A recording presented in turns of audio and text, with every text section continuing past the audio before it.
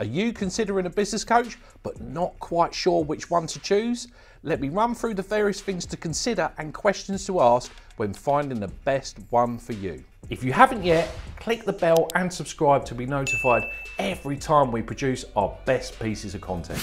Business coaches, choosing the right one. Now, me personally, I've invested in various different coaches over the years, and they have taken what I've got and got me there quicker. But choosing the right one can be difficult. How do you choose the one that is best for you? The most important question is, do they know my personal and business goals? And let's be honest, you may not know them, but they should be in a position where they can help you really get under the bonnet so they can understand what is truly important to you. I think that's a fundamental part of a business coach. Now, a business coach, is they're training you and giving you whatever you need to get you to your goal, they should know clearly what your business and personal goals are, otherwise, you are failing. Now, how do you spot a good business coach? Let's be honest, on LinkedIn, there's a lot, isn't there? There's loads of coaches that do this, this, this, this, this.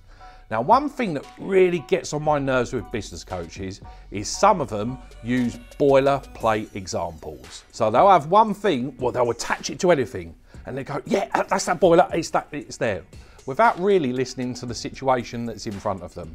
This really gets on my nerves. When you're looking at a business coach, and this is something that's really personal to me too, is you want someone that's been successful. And I mean really successful, because they're going to teach you things that you need to learn that will allow you to get to where you want to get to. There may be an odd business coach that may have one testimonial, but the rest of them, if you could find them, are rubbish. So have they been successful in the past and are they successful in their own lives? Because if they're not, why are they coaching? Ask and don't be frightened. Now, when you've got a business coach, also, sometimes together, you may not know the outcome. So you know that you physically, you want to get there, and it's really important and passionate to you, but you're not quite sure how to do it. Now that goes the same with a business coach. A business coach will not have all the answers straight away that will allow you to get there. It's something you work at together. So there's a really good book that I learnt loads from by a guy called Patrick Lencioni and it's called Getting Naked. Now be careful, I don't mean literally, but getting naked means do you have the vulnerability enough to say, I don't know how to get there yet, but together we are going to work there. So your business coach with you will work with you to say, right, we don't know how we're going to do it yet, but we're going to work at things systematically by taking action that allows you to get your goal. I think that's massive. Now, business coach as well should not be for life. I believe a business coach has a limited life.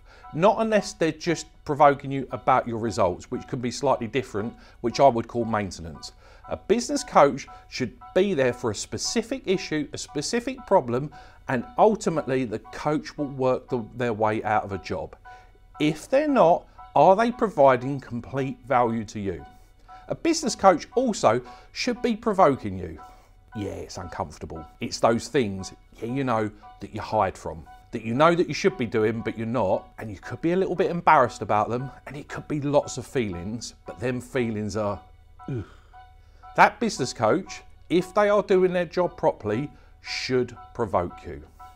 If it's all nice, fluffy, just a peaceful conversation, don't think you're getting to the core of your issues and really pushing yourself. It's all a little bit safe. So a business coach should be able to push you. Now, a business coach, you should allow them on what level to take it up to. So, i.e., when they deliver the information, is it going to be really brutal, like smack in the face, or is it going to be constructive and you build up to it?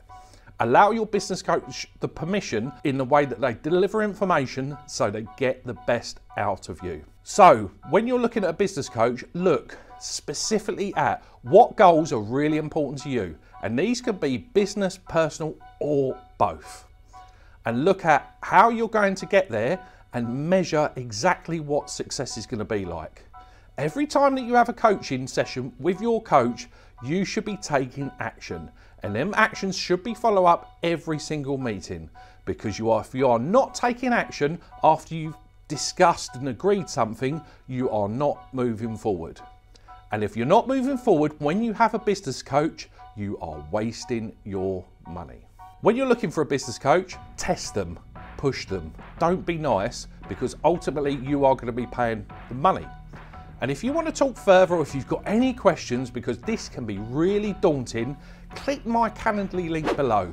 I'll jump on a discovery call with you. And yes, I promise there'll be no pushy sales pitch, but I'll be there to answer your questions. Good luck in finding your business coach and get the one that's best for you.